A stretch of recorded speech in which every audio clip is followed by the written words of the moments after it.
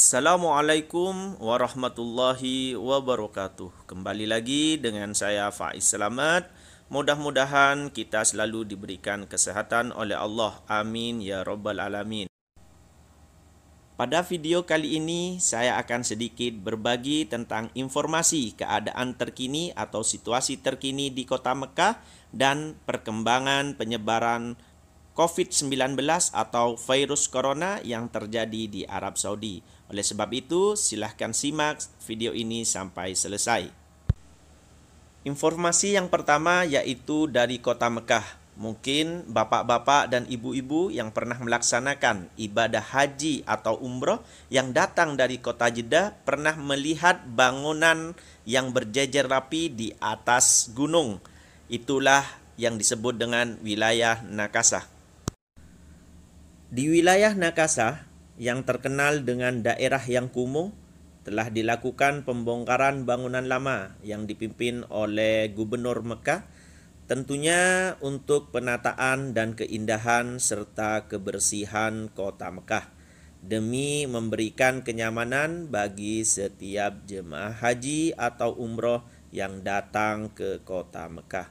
Menurut informasi, sekitar 114 bangunan sudah mulai dirobohkan. Sedangkan perkembangan penyebaran kasus COVID-19 di Arab Saudi pada hari Senin kemarin yaitu tanggal 4 Mei 2020 tercatat 1645 kasus dan hal itu merupakan adanya peningkatan kasus corona di Saudi Arabia. Bahkan merupakan kasus terbanyak yang terjadi apabila dilihat dari setiap data perharinya. Berikut ini adalah data 10 kota teratas yang ditemukan positif COVID-19 per 4 Mei 2020.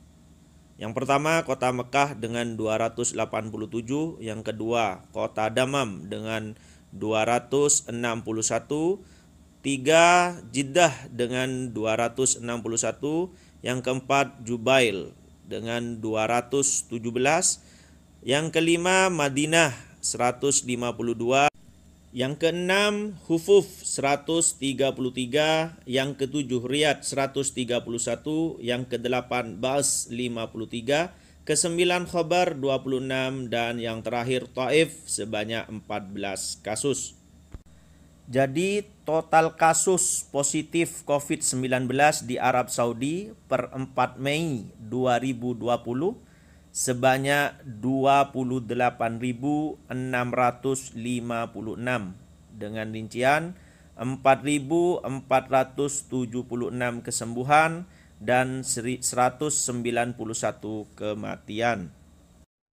Sedangkan perkembangan kasus positif COVID-19 pada hari ini yaitu 5 Mei 2020 di Arab Saudi ditemukan sebanyak 1595 kasus dengan urutan 10 kota teratas yang ditemukan positif COVID-19 yaitu yang pertama Jeddah dengan 385, yang kedua Mekah dengan 337, yang ketiga Riyadh dengan 230, yang keempat Damam 141, yang kelima Jubail 120, yang keenam Hufuf 101, yang ketujuh Khobar 89, yang kedelapan Taif 65, yang kesembilan Madinah 25, dan yang terakhir Nagiriyah sebanyak 14 kasus. Total keseluruhan per 5 Mei 2020 sebanyak 30.251 kasus dengan rincian 5.431 kesembuhan dan 200 kematian. Jadi dua hari terakhir kasus COVID-19 yang terjadi di Arab Saudi sebanyak 3.240 kasus. Demikian yang bisa saya sampaikan dari Tanah Suci Mekah Arab Saudi bersama saya Faiz Slamet. Wassalamualaikum warahmatullahi wabarakatuh.